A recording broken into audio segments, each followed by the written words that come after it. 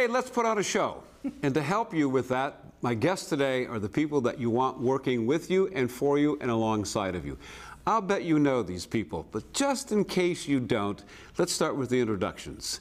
The gentleman is Richard Davis. Richard is the producer, producing director of the Erie Playhouse.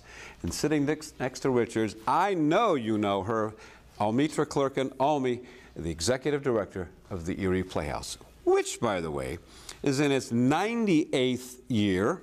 It's 1,267th production. Wow. You guys have been around.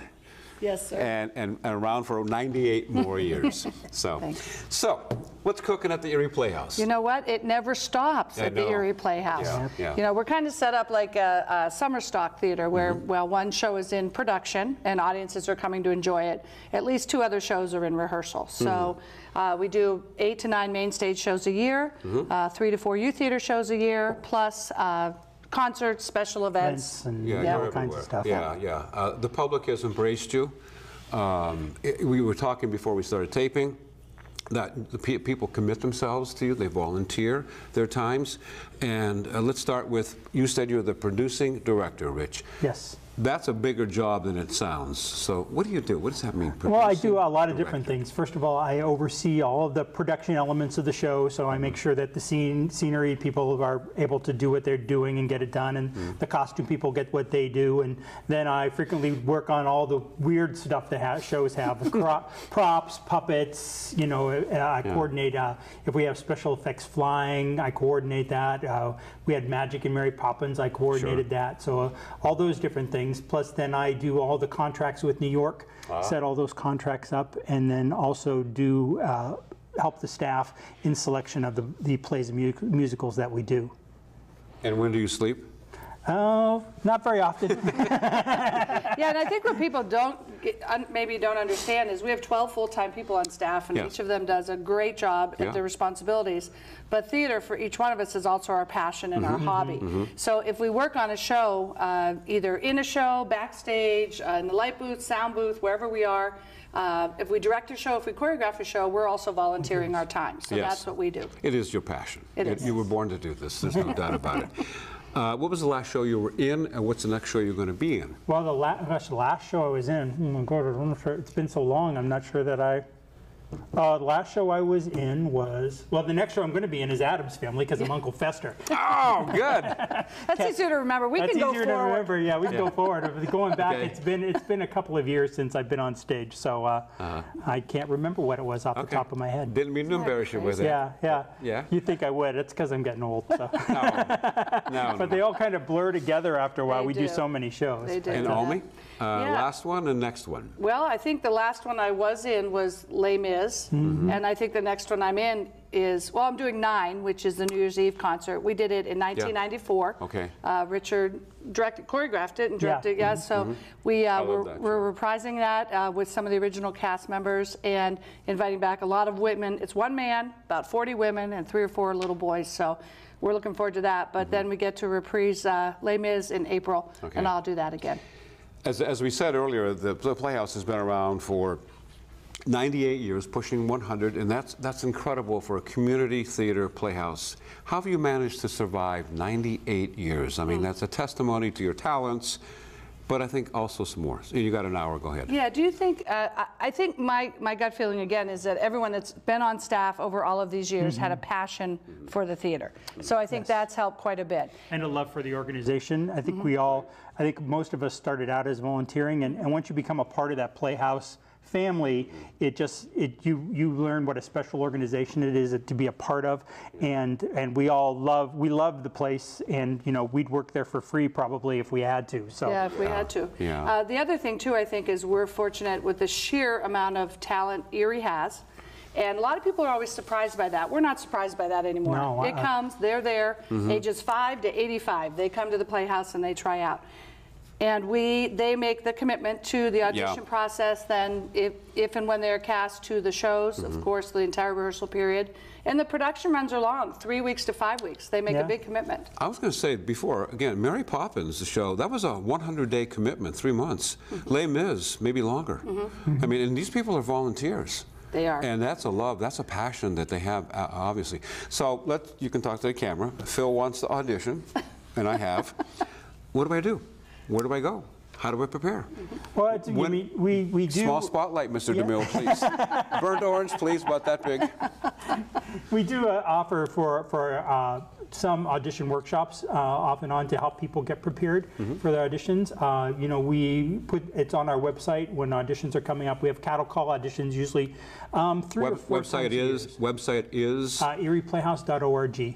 real easy. Yep. Yep. EriePlayhouse.org. Okay, Yep. I'm sorry, continue. And uh, so we do the cattle call auditions, which normally we audition three or four shows at a time. So that gives people, Yeah. you know, a chance to audition for more than one show if they want to.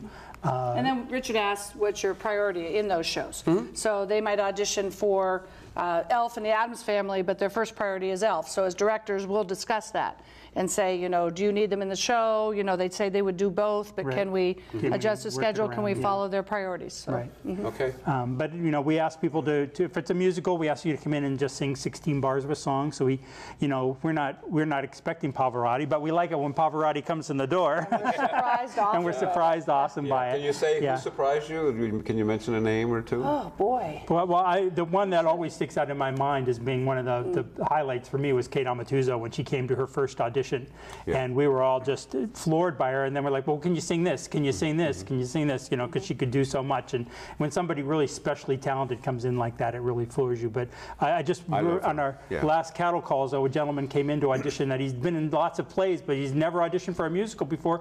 And he had a beautiful voice. And I was just like, oh my gosh, I didn't know you could sing like that. You know, Yeah. so it's nice they get those surprises. And then when they turn around and do so many Playhouse shows, they learn so much. Mm-hmm. So over a span of, when did we do Beauty and the Beast? That was Kate Amatuzzo's first audition. 10 years she ago. was It Belle. was 10 years ago. So mm. she surprised us and walked in, but Ten now, ye- Ten years ago? 10 years her? ago. yeah. Mm-hmm. So now we do other shows, and she's such a great comedian that she, Oh, and you uh, don't know it, but she's learned so Spamalot? much. Spamalot. Oh, yes, perfect knock perfect 'em dead. example. Yeah. Shrek, got, Yeah. got it holding up, I sh- get a shot of this one around here. We're holding up Shrek, the musical. She was Fiona She in was- that, She was so- Fiona. Uh, mm-hmm. That's, yeah, just the playbill there. Mm-hmm. And uh, so the process is, is is fair? You- Yeah. Do you ever precast and say, mm-hmm. well, you know, this is, we need this range mm-hmm. and this, and you gotta, um, I mean. We try not to do that. Mm-hmm. We, I don't think we, I don't think we've done that at all in the last. Okay. Yeah, we made the commitment as a staff over the last eight, ten years that Mm-hmm. we would just see who comes. And, and part of the process of picking the right shows,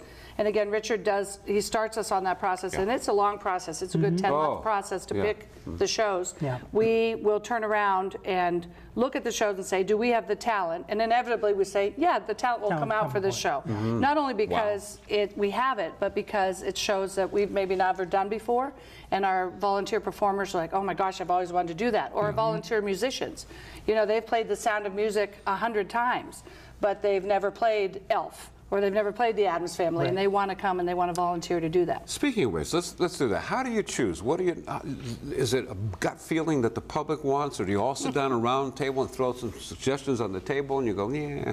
How, how's that process work out? Because I know that's key to the show being successful. Well, we, we've spent a few years surveying our audiences to see what, what, dro- what drives them to, to purchase tickets. And the number one reason is title of the show. Okay. Uh, and then, then after that, actors and production quality and things like that. Um, so we, you know, I usually sit down and try to look at what the new titles are that are coming out from New York because we can't just do a show. You know, we can't just do Mamma Mia because we want to.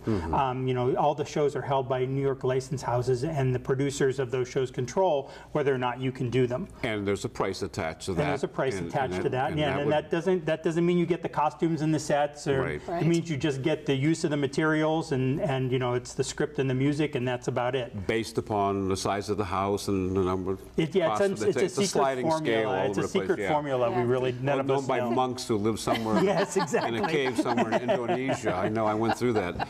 And, and you're right, then you have to talk about uh, everything else that comes with that. So to mount, let's say, take, I don't care whichever show, you want to take Shrek the Musical, for example, that was just recent.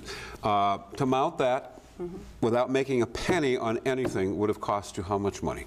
How much do we spend on that? Gosh, I'm trying to think. Somewhere of around 40,000. $40,000, I Wow. would think. Yeah. Really? So, because the royalties alone are, could be eight to Eight to ten thousand dollars. Okay, yeah. Uh, and musicals, we pay more than plays because there's, the producer has more people to pay. Yes. uh, When those rights are used by Yeah. community theaters like us, So so. you've got to figure that somewhere you got to have a little profit margin there, you know? Yeah, and it was very little. Yeah, It was very very little little, on yeah. Shrek because we spent $10,000 on the costumes. We spent Mm-hmm. $12,000 on the scenery to rent all the drops and everything. Plus, when you get in the pup, all the puppets that we created. Right. and props and Mm-hmm. microphone batteries and light bulbs and, you know, it, it all adds up quickly. Yeah. And the programs and printing the programs The, and the PR that we pay for to be in the papers, and then, um, you know, Mm-hmm. WQLN Radio will let us come on and talk about the show for free, and we're so excited about that, and Sure. the partnership we have with you. or- Yeah. uh, So we do, yeah, we have, for a budget, really, every show has the same pieces, Mm-hmm. but every show is a new puzzle for us. A- And speaking of that um, kind of collaboration, you have an Mm-hmm. outreach, I think that maybe some people aren't aware of. Uh, You don't just do the plays there at the theater, but you've got the showstoppers and Right. anything else. We do have, uh, you know, we talk as a staff all the time. We need people to come to 10th Street. We absolutely do. The value of a Has that worked out well for you there? We, Yeah, uh, yes, very space. much so, Yeah, because we're space. in the heart of Erie. Right. uh, With all of our other fr- ear- Mm-hmm. uh, arts and culture venues. Uh, We're a big part of that, and we're proud to be a part of that there. Okay. We're easy to get to. You know, in Erie, you can get anywhere in 15 minutes, so Can- it's, yeah. it's nice to You do better be able to park in front of the place, too, or I'm not coming. Well, feed your meters. And then uh, the nice distance between Cleveland, Buffalo, and Pittsburgh, Sure. Mm-hmm. and we get nice audiences, you know, people coming from there too. If they want to see the show, they will see the show. So coming to 10th Sure. Street is vital. And the 1350 ticket for a student all the way through college and the $22 adult and senior ticket, the value, what that does for us when you are sitting in that house is mm-hmm. huge. Not only the response to the audience and the cast back and forth, because that's, that's vital for us to do the best show we can do, but also the fact that you are helping us by paying that admission price. Yeah.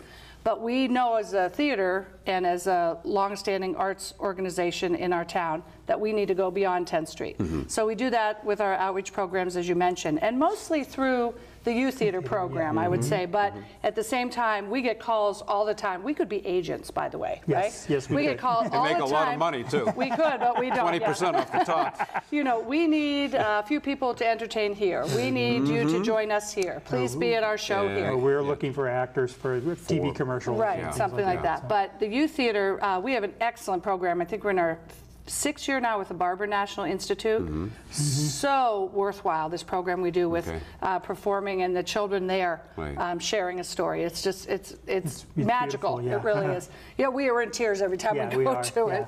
it. Uh, But we're pretty soft as it goes anyway.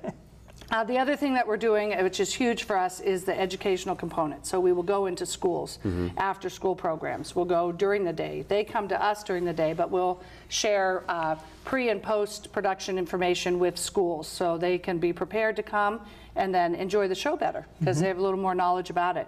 Uh, We're moving into uh, being part of this Erie Together and our whole community working toward reducing poverty and having children ready for school.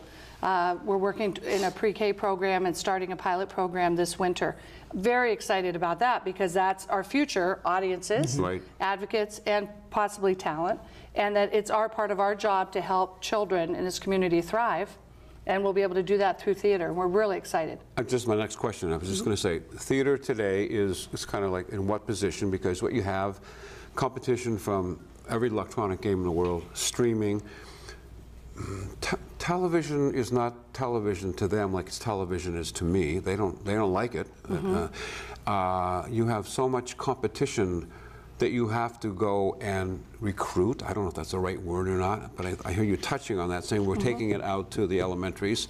Um, is that playing easy? Is it playing okay? Uh, are they responding to that? Uh, I, I don't know what your the- thoughts are, Richard, directly, but Yeah. my- I guess my thoughts on that are, yes, we have to work to get people to come Yeah. into the Playhouse. Okay. Absolutely. But when they get there, to have that experience of live theater with a big group of people Yes. is very exciting. Very much. Because my son, my son goes to the theater, but he loves being home and playing his games, Mm-hmm. right? So he will do that, and he'll move toward the social aspect and be in a live theater Yeah. and enjoy an experience that way too. But we have to recruit, as you said, and we got to get the audiences there. if, if people have us as an uh, option, we love that. You know, don't, uh, I, double negatives are hard, but don't not think about the arts and culture in our community. Come to it, experience it, try it. Um, and it's extremely collaborative too. You could go to the Children's Museum, we could be there for an event and helping them out, and then they'll turn around and they'll help us out at the Playhouse and share uh, the knowledge and the love of the arts and history and culture and everything. Is, is theater today, you know, um, well, uh, they always, the great white way is like limping along the ground, you know, I mean, just, they, it's always dying, it seems. Um, Is it, is it hard to get people, is- is, is theater still the the conscience of the country? I mean, the plays, the musicals, the- does it say who we are in the world? Hmm. Are or the United States? Is it more? I mean, you know, you, you got Cabaret, which is of course a musical, but it's a it's a condemnation of the, of, the, of Hitler in World War II. Mm-hmm. Um, and it, how do you see that today, in, in a broad sense? Mm-hmm. Theater, play, musical, You know, do you think it, I, I think. rehashing, or not rehashing, but redoing the oldies. And Yeah, not, it- it's not extending out? generational, Okay. certainly. Right, Uh, We, Okay. We have this question all the time. We grew up, we love the golden age of Broadway and yeah. Yeah. musicals and theater. We love that stuff. Yeah. But is it too soft? Is it not enough of a, Edge. uh, Does, it- yeah. did- Yeah. does today audience, did- does today's Right. youth know who Rodgers and Hammerstein even are? Well, Right. let when alone I'm what watching Oklahoma Britney and Spears Carousel? naked on a video, what the heck do I want to go see you people Right. for? I mean, Well, you know, that's yeah, we that's your don't have that. competition. So, Yeah, and right. again, the- That's, so we uh, do But I'm ta- saying that's Yeah.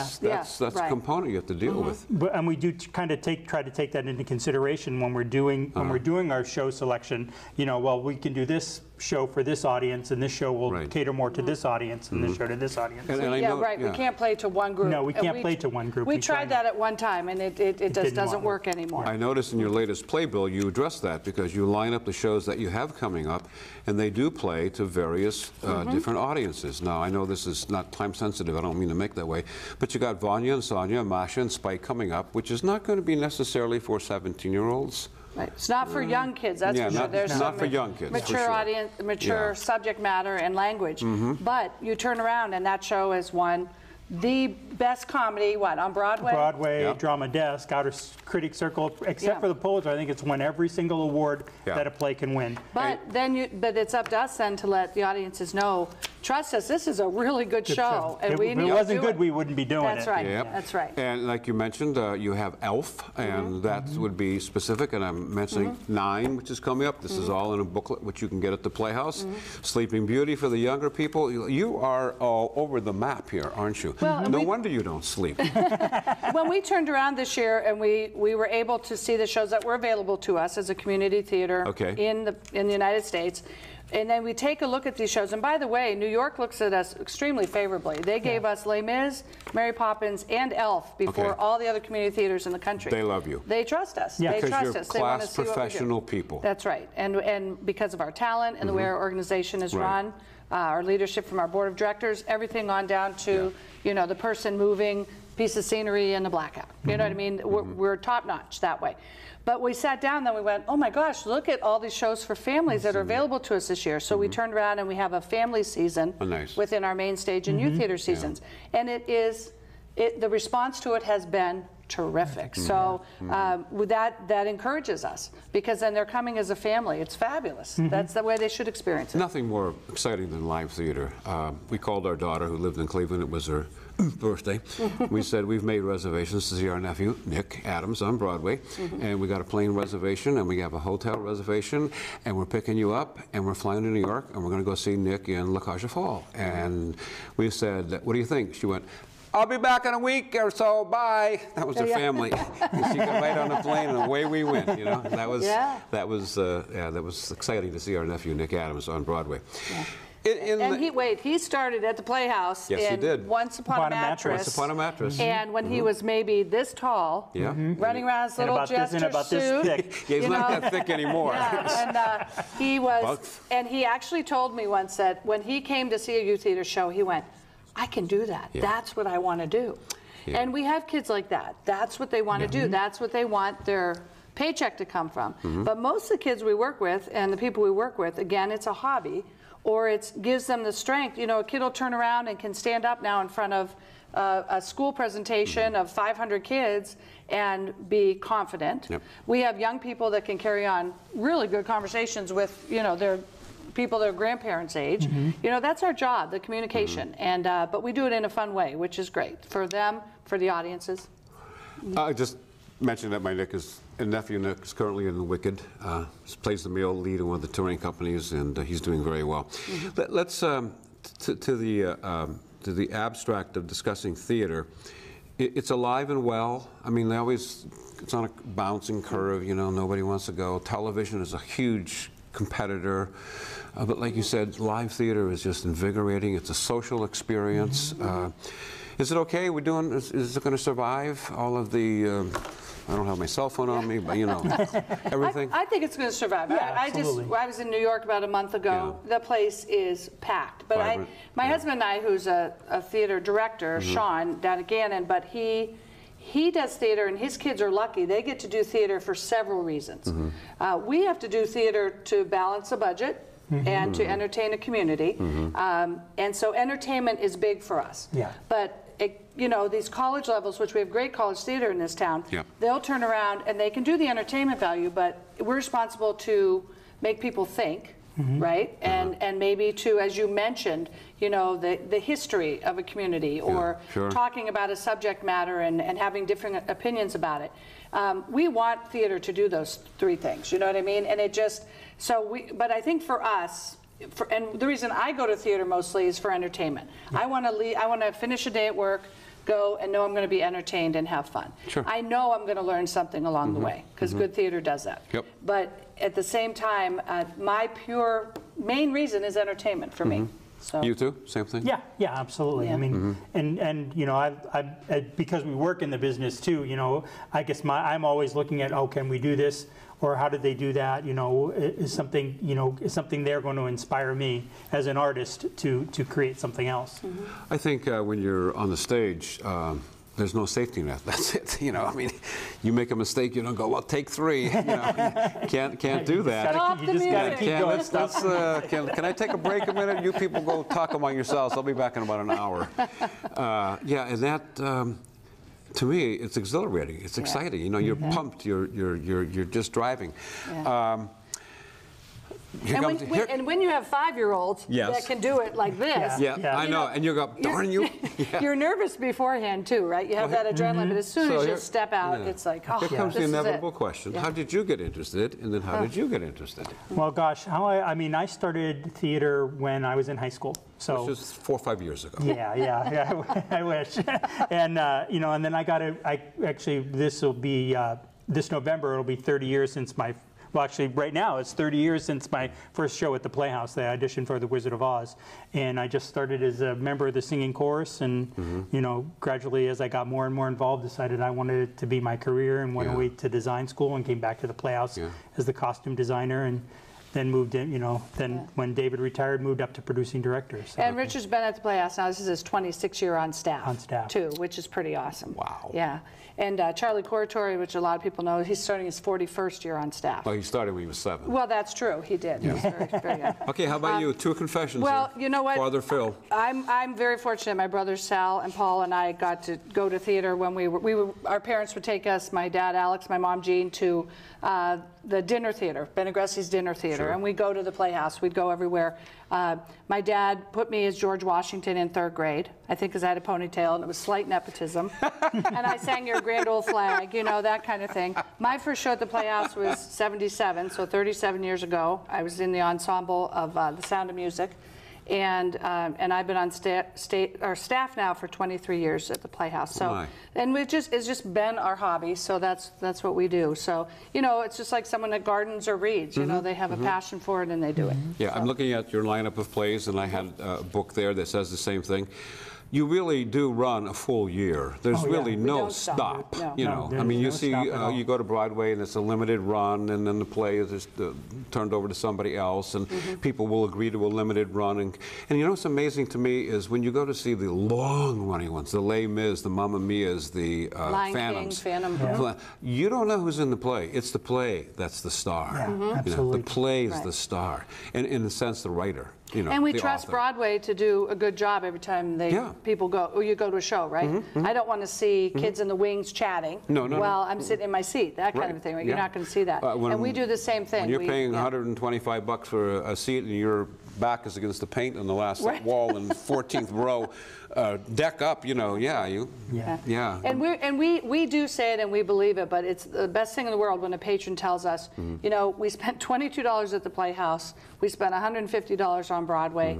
We're we're we're not missing anything when we come to the Playhouse. No, and I've heard that said for years and years and years. The caliber, of the talent, the people who do this, and again, can't be stressed, they're volunteers. Right. They've committed themselves to this passion. Again, Richard Davis, he's the producing director of the Erie Playhouse, and sitting next to him is Almitra Almi Clerkin, executive director of the Erie Playhouse. It's in his 98th year.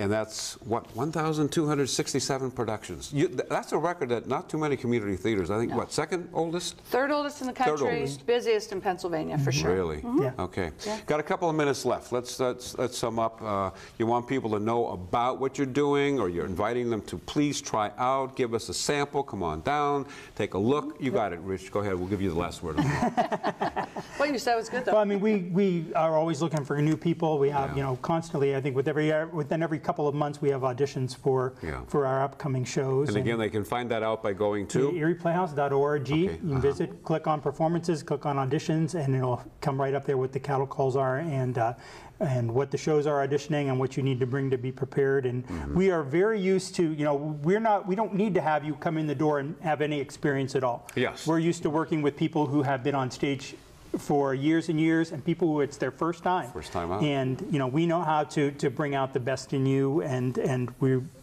we look forward to doing that. I mean, I think that's one of the things I like about what we do is it's not always a new show, but it's always new people coming in the door. Who, who are you going to meet with the show? You know, it's and you can walk in and somebody you're going to meet your next best friend for the rest of your I, life. you just took the Yeah. words, you- you're going to make lifelong friendships. Yes, absolutely. And not everything's going to be bumpy, buckle up, it's going to be a bumpy night, you know.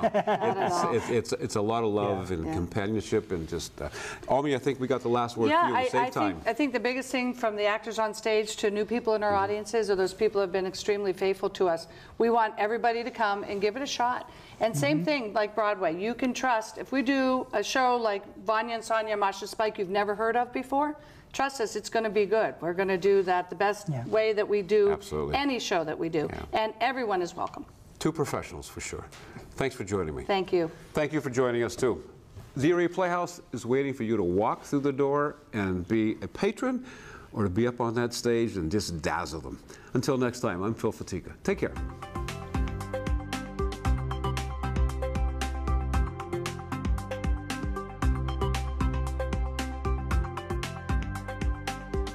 You're watching the Millcreek Government Channel, powered by WQLN Public Media.